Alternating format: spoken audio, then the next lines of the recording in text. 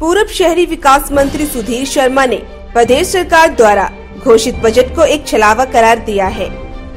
पत्रकार वार्ता में सुधीर शर्मा ने कहा कि सरकार ने बहुत सी योजनाओं की घोषणा तो कर दी है, लेकिन इसके लिए धन कहाँ से उपलब्ध होगा, ये कहीं ज़िक्र नहीं किया है। जब प्रदेश की आर्थिक हालत ठीक नहीं है तो ज़ोर प्रदेश की अर्थव्यवस्था पर दिया जाना चाहिए था। सुधीर शर्मा ने प्रदेश सरकार के अब तक के कार्यकाल पर भी निराशा ज़ाहिर की है। उनका कहना है कि सरकार धरातल पर कोई काम नहीं कर रही है। पिछली सरकार द्वारा शुरू किए गए विकास कार्य भी थमकर रह गए हैं।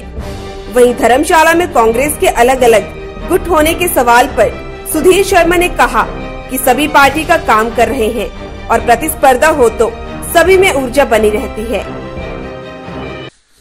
उसको पढ़ करके ऐसा लगता है कि सरकार जो है वो पूरी तरह से दिशाहीन है। और जिस तरह से आंकड़े दिए गए हैं जिस सरकार के पास स्वयं के संसाधनों की कमी है वो किस प्रकार से उस धनराशि को अर्जित करेगी जिन परियोजनाओं और योजनाओं के बारे में उसने उन्होंने उस बजट में बताया है। और उसके साथ साथ आपको आ, मैं ये कहना चाहूँगा तो सरकार को भी मैं पूछना चाहूँगा कि जो पिछली सरकार के समय में कुछ एक प्रोजेक्ट्स थे, जैसे कि एडीबी फंडेड प्रोजेक्ट है हमारा, उसकी जो दूसरी किस्त थी, क्या ये सच है कि वो लगभग 1900 करोड़ की जो किस्त आनी थी, उसके ऊपर जो है वो डिपार्टमेंट ऑफ़ इकोनॉमिक अफेयर्स ने डीए ने चिट्ठी लिख के इसलिए रोक लगा दी कि प्रदेश सरकार जो है, अभी तक की जो धनराशि एडीबी से आई थी, उसको खर्च नहीं कर पाई। और वो इसलिए खर्च नहीं कर पाई क्योंकि जगह जगह इनके लोगों ने जाकर के जिस प्रारूप को एडीबी ने तैयार किया था, उनके जो कंसल्टेंट और आर्किटेक्ट थे, जिस तरह से उन्होंने तैयार किया था, इन्होंने उसको बदलने का प्रयास किया। इसी तरह से प्रदेश के जुड़े हुए जितने मसले, आप गगल के हवाई अड्डे को ले लीजिए, सरकार को यही पता नहीं है कि अपने संसाधन कितने लगाने हैं, केंद्र से या किसी अन्य एजेंसी से क्या फंडिंग लेनी है। अगर मुआवजा मिलना है तो उसके ऊपर कौन सा फैक्टर लगना है? तो इसका मतलब साफ़ साफ़ ये है कि किसी भी मसले पर सरकार गंभीर नहीं है। अभी जो बजट आया, उसमें आपने स्मार्ट सिटी के लिए सौ करोड़ रुपया रखा है। बजट से पहले भी एक घोषणा आई थी कि सौ करोड़ रुपया तब दे दिया गया। तो ये वही सौ है या अन्य सौ आया? और सौ ये आया तो क्या सौ सौ दोनों स्मार्ट सिटी शहरों के लिए आया? और धर्मशाला स्मार्ट सिटी का तो जो पैसा था वो स्मार्ट सिटी की जो गाइडलाइंस है केंद्र सरकार की, कि वो उसमें एक बैंक स्पेसिफाई किया गया है कि उसी बैंक में वो पैसा रखा जाना था। लेकिन आपने उसको ऐसे बैंक में डाल दिया जो बैंक ही बंद हो गया। तो उस पैसे का क्या स्टेटस है? काम कैसे होंगे?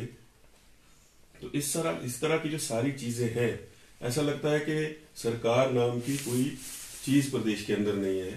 प्रशासन के जो अधिकारी बैठे हुए हैं, किसी भी स्तर पर, वो कोई भी काम करके जो है जनहित में राज़ी नहीं है। ऐसे लग रहा है कि ये एक तरह से टाइम पास सरकार बन गई है। ये तो हमारे प्रदेश के लोगों की सादगी है कि इनके वादों पे बार बार एतबार कर लेते हैं। लेकिन ये ध्यान रखना चाहिए कि चुनी हुई सरकारें जो है प्रजातंत्र में, वो वचनबद्ध होती हैं जनता के प्रति। जब आप इस प्रदेश की जनता के साथ न्याय नहीं कर पा रहे हैं और ऐसे आंकड़ों का मायाजाल रोज दे रहे हैं जिन और आपको ये खुद पता होना चाहिए कि तीसरा वर्ष आपका चल पड़ा है। धरातल पर कुछ उतरा नहीं है। और अंत के दो वर्ष जो है, अब इनको तो चुनावी वर्ष ही मान लेना चाहिए। आगे पंचायतों के चुनाव आ जाएँगे, उसके बाद जो है शहरी निकायों के चुनाव आ जाएँगे, उसके बाद विधानसभा के चुनाव आ जाएँगे। मैं समझता हूँ कि ये पूरा दिशाहीन और दशाहीन बजट है। इससे प्रदेश को कोई लाभ नहीं होने वाला। प्रदेश के पास पहले ही जो फंडिंग आई पड़ी है, जब आप उसके साथ ही नहीं न्याय कर रहे और वो सरकार जो रोज जो है उधार के पैसे पर काम कर रही है मांग मांग कर आप जो है अपना घर चला रहे हैं। तो अगर धरातल पर चीज़ें नहीं उतरेंगी तो अब मैं समझता हूँ कि ऐसे में तो सरकार को जो है इनको इस्तीफा दे करके दोबारा चुनाव करा लेने चाहिए कि भैया हमसे नहीं हो रहा है हम लोग ये छोड़ रहे हैं किसी दूसरे को मौका दीजिए जो कि प्रदेश को आगे ले जा सके। तो ये मेरा आ, सरकार पर आरोप है कि इस तरह से प्रदेश के साथ प्रदेश के हितों के साथ, प्रदेश की जनता के साथ। ऐसा खिलवाड़ पहले कभी नहीं हुआ। और इस तरह की सरकार पहले नहीं देखी गई कि जो कोई भी कार्य को धरातल पर उतारने में इतनी बुरी तरह से नाकाम रही। उज्जवल हिमाचल के लिए धर्मशाला से ब्यूरो रिपोर्ट।